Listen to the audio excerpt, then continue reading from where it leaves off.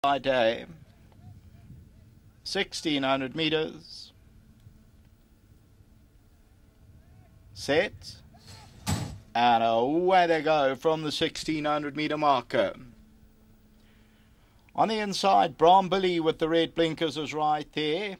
Plate of Platinum has a good position shortly after the start, and Shoes and Company on the right with the white noseband well placed.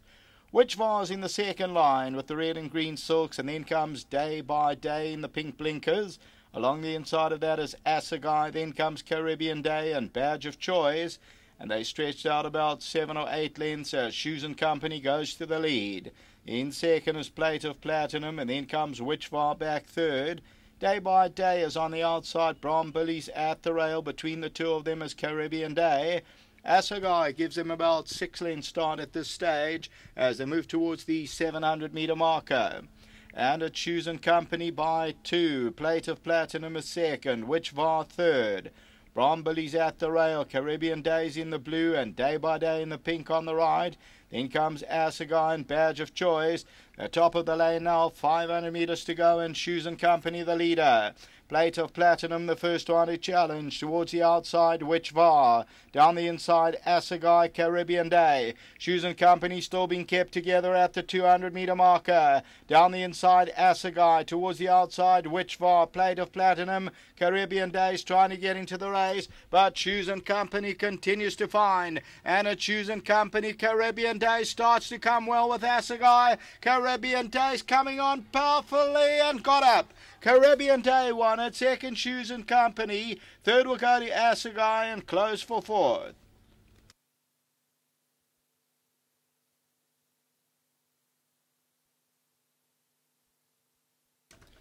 Victory for number four, Caribbean Day, son of modern day, rewarded for consistency. Keegan DeMello, Mark Dixon, another one for Mark. This one for Blake Richard and Kathy Richard, and they end up winning it by about a neck. So number four, Caribbean Day, second win from 11 outings.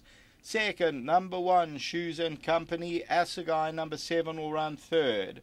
Fourth position, a good couple of lanes back, and there was uh, Witchvar involved, then Plate of Platinum, and then came Brombilly. Further back in the field is Badge of Choice, and then it's a good couple of lanes back to the next placed horse, which would have been badge of choice. As we look at the Shoes and Company was still in front under that 61 and a half, and Caribbean Day starts to warm up and eventually gets there to win it by about a neck. So number four, the winner for Middlefield Stud. That's for the winner from one and a race time of 97.29. Number four returns 450 a win, 170 a place. Back to the studio.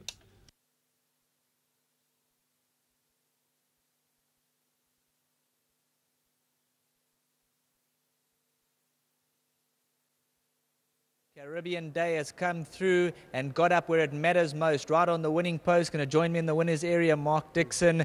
Now, breathtaking stuff coming to that last 200. He looked to be unwinding, and that front runner just kicked to go in front.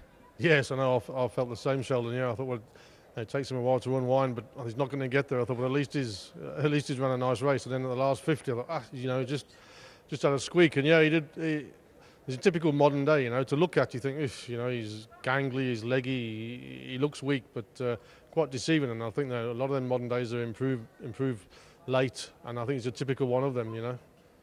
Nice type of horse back home. Is he easy to work with?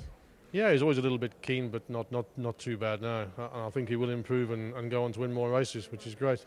Congratulations! Enjoy the moment. Yeah, thank you, Sheldon. Let's get the winning rider in, Keegan DeMello, jumping aboard Caribbean Day. Now, you rode him very early in his career. He's turned the corner nicely. Yes, um, I must say, Sheldon, he's, he's really turned the corner this horse. You know, I rode him second time out, I think, at Greyville, and it didn't suit him. He was drawn wild in the 1200, too short for him, and it's the first time I've been able to get it back on him. Thanks to thanks to Mr. Dixon and to Mr. and Mrs. Richards. You know, my first winner for them has been three years, but well done to them. They said you're back on the favourite jockey list, so well done. Yes, that's, that's a good, it's a good start. Congratulations. Thanks, Sheldon. Let's get Blake and Kathy Richards into the winners area. Yeah. Now this victory is well deserved. Yes, he's a lovely horse, this. and uh, we'd like to thank Robin Michelle Pickering at Middlefield Stud, and uh, also all the guys at the yard who put in the hard work. Well done. Now, chatting to you, you were quite bullish. He opened up 1 Rand 50 on the tote, so some of the guys out there had a lot of all to come bets riding on him. Yes, I actually couldn't believe that, but uh, I was a bit worried about uh, Witchvar. And um, we're just grateful that he's won. It's his second win, and uh, we're enjoying our racing. Just a big thank you to all concerned, especially Mark and Haley, Annette Dawes from Hargate, and all the team, all their grooms back home. They do a, a good job for us. And we're having a great time in racing, and we've bought a few on the recent sales, and uh, we look forward to the future. There's a couple of offers abound for him. They've just doubled now. Yeah, bring your money, we will talk. Well done. Thank you very much, Sheldon. Cheers. Well done to all the connections. Number four, Caribbean Day, just chatting to Blake and them beforehand. There was a couple of offers before the race. Now that offer's just doubled after this victory. Caribbean Day, short on the toe, drifted out a little bit, but the value was there.